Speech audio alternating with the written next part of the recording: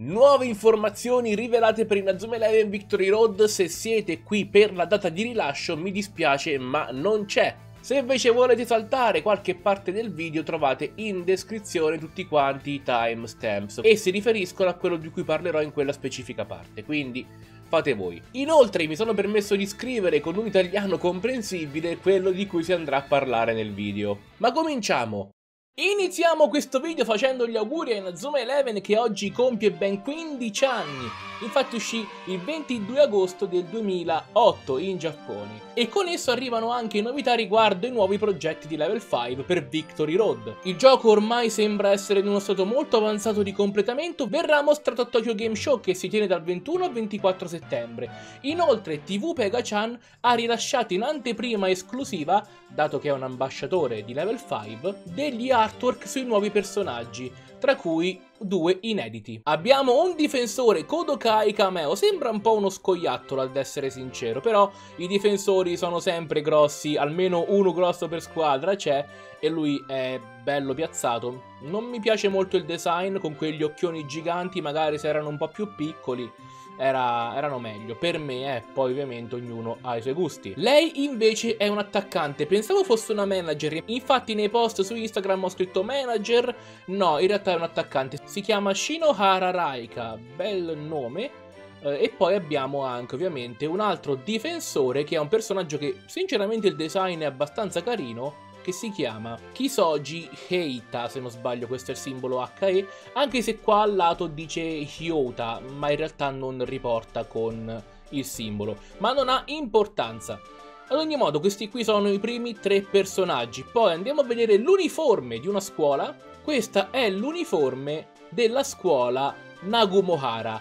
Ora, non ricordo se Nagumohara è la scuola dove noi iniziamo l'avventura. Questa qua è la divisa dei, dei 10 giocatori in campo e il portiere, eccolo qua, che ha queste, sempre queste maniche lunghe. In Azuma Eleven ne ha fatto un marchio di fabbrica. E carina, è nuova ovviamente. I colori mi piacciono molto. Quelli del portiere, il colore del blu, quello del portiere è molto molto carino. Mentre l'uniforme bianca, vabbè, il bianco va sempre bene, comunque sia un classico, quindi ci sta la fascia del capitano è rossa o tendente all'arancione comunque quindi molto molto carina. E come ultima informazione è stato rilasciato un nuovo personaggio che sembra discendere da una linea di giocatori simile a quella di Mark Evans, quindi ha del sangue reale, tra virgolette. E Ino ha detto che non ha rilasciato il nome, però dobbiamo indovinarlo noi. Sinceramente mi viene in mente pochissima roba.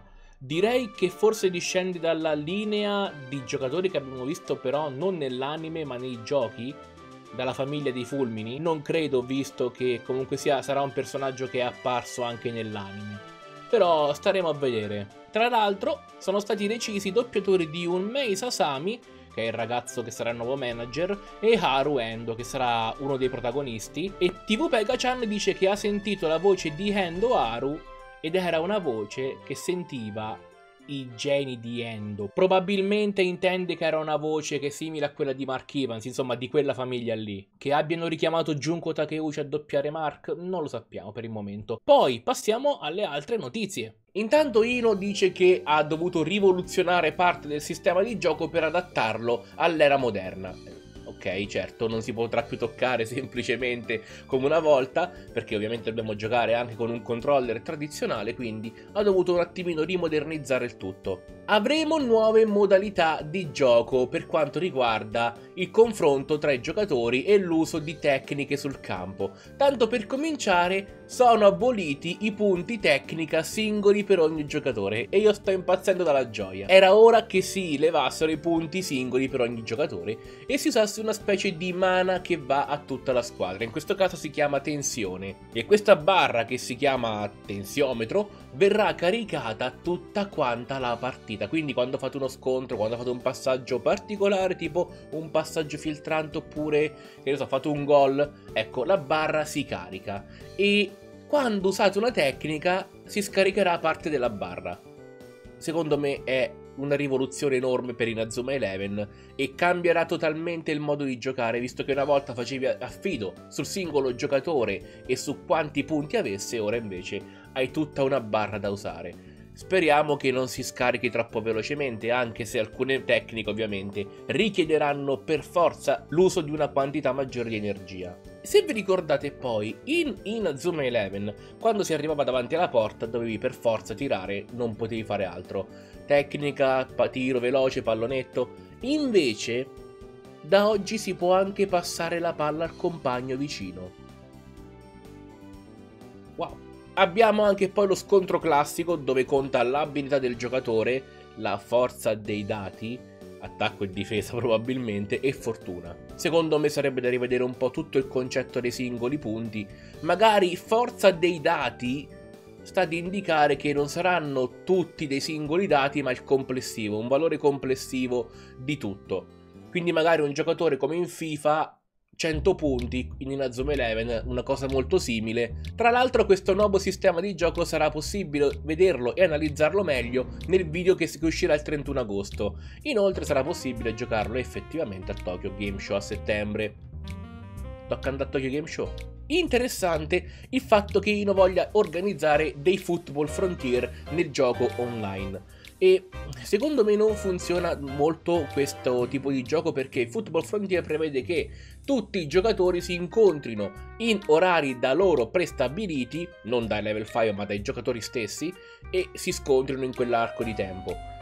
È molto difficile organizzarsi tra amici, figurati tra due persone che non si conoscono e che vogliono vincere a tutti i costi non è molto pratico. Però devono ancora definire tutti quanti i dettagli, quindi cambieranno qualcosa. Si dovrebbe andare in loco come tutti quanti gli altri sports. Bello il fatto che una squadra non sarà sempre la stessa. Infatti, ogni tre stagioni si cambiano sei giocatori. Ma cosa vuol dire cambiare sei giocatori? Vuol dire che nella tua squadra hai 5 giocatori prestabiliti che terrai per sempre, fino a che non decidi di cambiarli. Mentre questi altri 6 giocatori li terrai per il corso di 3 stagioni. Quindi primo anno, secondo anno e terzo anno perché poi si diplomano e se ne vanno dove devono andare. Lo sanno loro e la stagione è prevista per due o tre mesi, stanno ancora definendo i dettagli. È molto utile per non avvantaggiare nessuno. Così devi essere bravo tu per forza a giocare. Se poi sei una pippa come me, quello lì non cambia nulla, fai schifo a prescindere. Però non può avvantaggiare nessuno. Questa è una bella pensata. Dice inoltre che tra questa rosa di 6 giocatori che cambiano in continuazione si possono anche trovare personaggi del passato, tipo i giocatori dell'Alius Academy, tipo tutti quelli della Raimond, della Royal. Bene. Hanno trovato anche la voce per Endo Haru e la sentiremo nel trailer attendiamo con ansia. E poi, Ino, io ti voglio dire un enorme grazie perché solo al lancio, a quanto pare, avremo gli spiriti guerrieri. Niente totem e niente Miximax. E neanche le armature. I totem non l'ha neanche menzionati perché fanno schifo anche a lui, secondo me. Si è reso conto che ha fatto una cagata. E i Miximax e le armature per il momento niente, solo gli spiriti guerrieri. Darli a tutti i giocatori non è facile però se vuole darli effettivamente magari avremo alcuni spiriti guerrieri di base per tutti quanti i giocatori e poi potremmo cambiarli a nostro piacimento. Eh, spero che il gioco non, durante la storia, ok, sarà limitato ad alcuni giocatori forse, ma a tutti quanti gli altri giocatori quando dovremmo allenarli, quando dovremmo cambiare una tecnica, potremmo fare come ci pare o dovremmo spendere dei punti che guadagniamo nella storia perché poi Victory Road è la modalità di gioco nella quale ci affrontiamo online e abbiamo tutta quanta la rosa di Nazuma Eleven, di tutti i personaggi creati fino ad ora, o quasi, perché alcuni ovviamente non entrano per forza di cose maggiori. Sono molto curioso di scoprire questo aspetto del gioco, che probabilmente vedremo neanche a Tokyo Game Show, ma quando uscirà direttamente il gioco con un trailer magari dedicato prima del lancio. Però il 31 agosto è il termine ultimo per il nuovo trailer dove avremo le voci di Sasami e di Endo Haru. Non vedo l'ora. Questo è quanto abbiamo per il momento in possesso. Sono molto molto fiducioso per questo nuovo titolo. Magari poi il 31 esce il trailer, è una cagata di gioco, tutto diverso da quello che abbiamo visto fino ad ora e ci farà schifo, ma dubito, dubito non è tanto il fatto che è in sviluppo da 7 anni. Anche. ma il fatto che uscirà a detta di Ino, e stavolta voglio credergli, in contemporanea mondiale. Io questo aspetto solo, l'uscita mondiale, l'uscita lo stesso giorno per tutti. Poi verrà liccato, ma comunque. Queste sono le notizie per oggi. Amici, ci vediamo ovviamente con nuove news il 31 agosto. E l'ho detto una volta sola questa frase, ma mi sembra appropriato. Giochiamo a calcio. No, beh, un po' cringe.